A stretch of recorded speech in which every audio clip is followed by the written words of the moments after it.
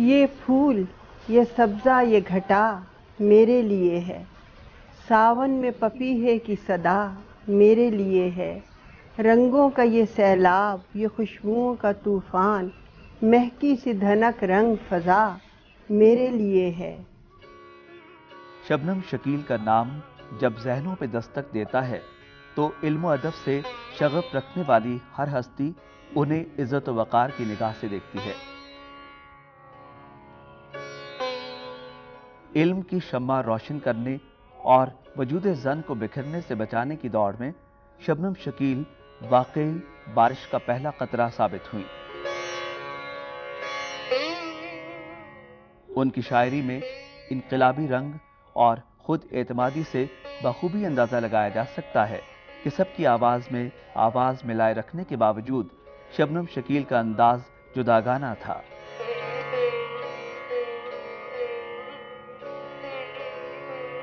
शबनम शकील पाकिस्तान की मारूफ शायरा महक़ मुदरस नक़ाद, अदीबा और माहिर तालीम 12 मार्च 1942 को लाहौर के एक इल्मी खानवादे में पैदा हुई। वो मशहूर शायर और माहिर तालीम आबिद अली आबिद की साहबजादी थी, लिहाजा उन्हें घर में ही अदबी माहौल मैसर आया।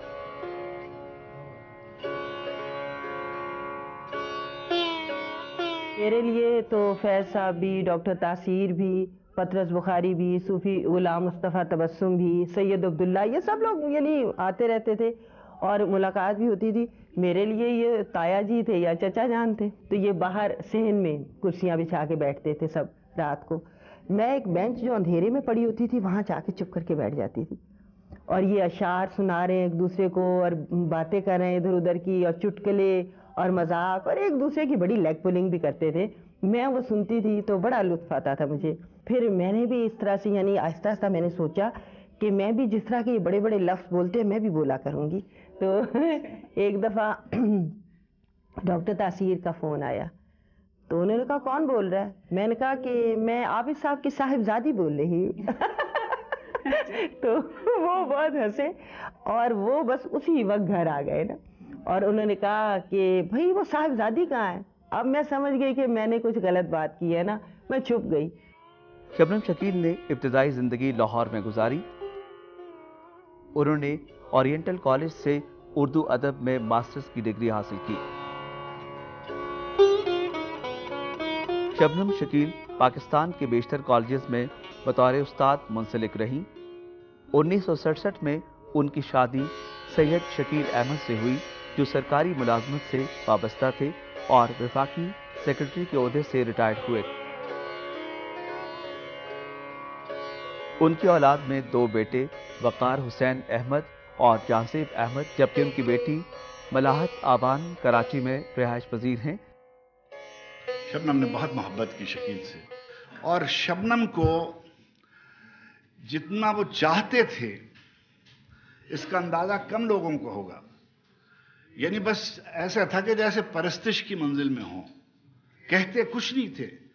शब्बो कहकर एक लफ्ज में, शब्बो कहते थे उसे और उसको कहते थे और शबनम सजदे के लिए तैयार हो जाती थी। शबनम के साथ यादें तो सन पचपन से वाबस्ता हैं, क्योंकि वो मैं, वो एक कॉलेज में थी, मैं दूसरे कॉलेज में थी, लेकिन हम दोनों एक वक्त दाखिल हुए थे और शायरी शुरू की थी। शायरी करना मैंने तो जारी रखा, लेकिन शबनम के यहाँ वक्फा आ गया बारह साल का कि उसकी शादी हुई। शादी के बाद हमारे यहाँ होता आया है, अदा जाफरी के साथ भी यही हुआ, जहरा निगाह के साथ भी यही हुआ कि शायरी में वक्फा आ गया। बारह बरस मैंने बिल्कुल जिसे कहते हैं ना, किनारा कशी इख्तियार कर ली थी हर किस्म की अदबी सरगर्मियों से। पढ़ मैं रही थी, लेकिन मैं लिख कुछ नहीं रही थी।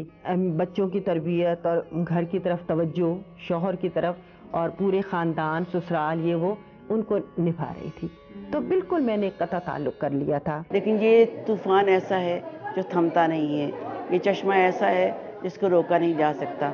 शबनम ने बाद में शायरी की और करती रही है और आखिर उम्र तक उसने किताबें भी लिखी और शायरी को ज़िंदगी का वो नमूना बनाया जो बहुत कम लोगों को नसीब होता है। लाहासिली का इश्क में चर्चा नहीं किया।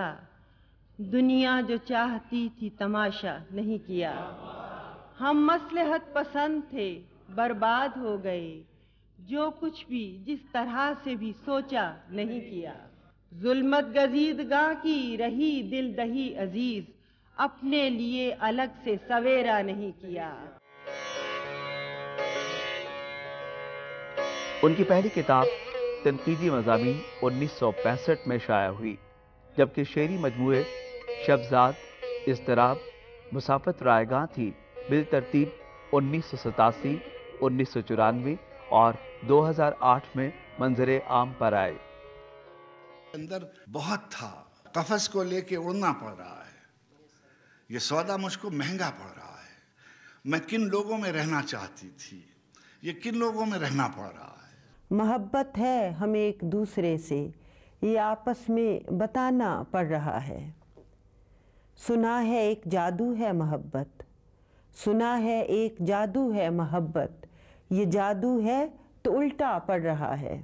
इस माशरे में और इस ज़माने में उन्होंने जो अदबी, तख्लीकी और फ़नी ज़िंदगी गुजारी, उसकी बाबत ये बात नहायत ज़िम्मेदारी और वसूख से कही जा सकती है कि उनका काम, उनके नाम को और उनकी पहचान को बाकी रखने के लिए यकीनन एक अहम सरमाया साबित होगा। एक कहानी है ज़िंदगी की, जो शबनम ने लिखी है और बहुत तमाम तर तासर के साथ लिखी है और वो मुस्तकिल लिख रही थी।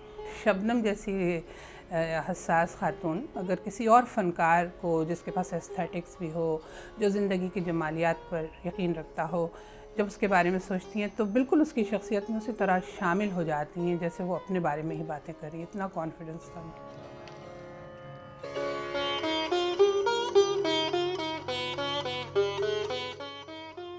शख्सी खाकों और तनकीद पर एक किताब, तकरीब कुछ तो 2003 में, जबकि नकफस न आशियाना के उनवान से मुख्तसर कहानियाँ 2004 में कारीन तक पहुँची।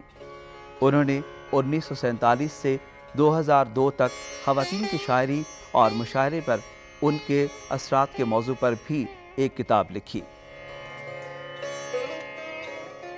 बिदहत रसूल पाक सल्लल्लाहु अलैहि वसल्लम में भी शबनम किसी से पीछे नहीं रहीं।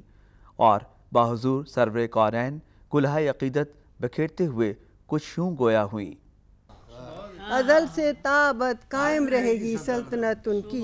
मोहब्बत की हुकूमत में कहाँ इमरूज और फरदा? और दलील उनकी बड़ाई की भला इससे बड़ी क्या है? हुई तख्लीक उनकी ज़ात अकदस के लिए दुनिया। मोहम्मद ही तो है, शाहकार उस नकाश अव्वल का। वही कुरान, वही फुरकान, वही यासीन, वही ताहा। चमके हरूफ नात उजाला सा कर गए। किरता से दिल पे नूर के मोती बिखर गए। ये किसका फैज़? जीस के मानी बदल गया। बिगड़े हुए नसीब ये कैसे संवर गए? खुद गम का ईंधन बन गया जिसने भी गम खाया मेरा। मुझसे ज़रा हटकर चलो अच्छा नहीं साया मेरा। ये शेर है शबनम शकील का जो आज अपने गम का साया हमारे दिलों पर डाल गई है। शबनम बहुत प्यारी शख्सियत थी। उसकी शायरी और शख्सियत अलग अलग नहीं थी। जैसी मोहब्बत उसकी शायरी में झलकती थी वही मोहब्बत वही रवैया उसकी ज़िंदगी में था। फ़लसफ़ा हुसैनियत हो या मारकाए करबोबला शबनम की शायरी शहदाय करबला के लिए अकीदत व एहतराम से सरशार है। ताहशरब रहेगा। दिलों में गम हुसैन ये हुक्म सरमदी सर सहरा लिखा गया। गम हुसैन है अपना ईमा याद करबला दायम है। करते रहेंगे दायम मातम दायम अश्क बहाएँगे। गम शब्बीर जावेदानी है और जो गम भी है वो फ़ानी है। एक अलामत हुसैन का इनकार, एक पैगाम, एक निशानी है। ज़िक्र है गुलशन बतूल का फिर और शबनम की गुल फशानी है। मुझे एहसास ही नहीं था कि एक महीना पहले उनके शोहर की वफ़ात के बाद मुझे इतनी जल्दी यहाँ आना पड़ेगा। उनकी शायरी में जो फेमिनिज़म था और जो तवानाई थी वो हमेशा महसूस होती थी। अपने आप को जिस काज के साथ भी मुंसलिक किया उसको आगे चलाने की कोशिश की। हर इंसान को कीमत अदा करनी पड़ती है खुशी के लिए ठीक है ना?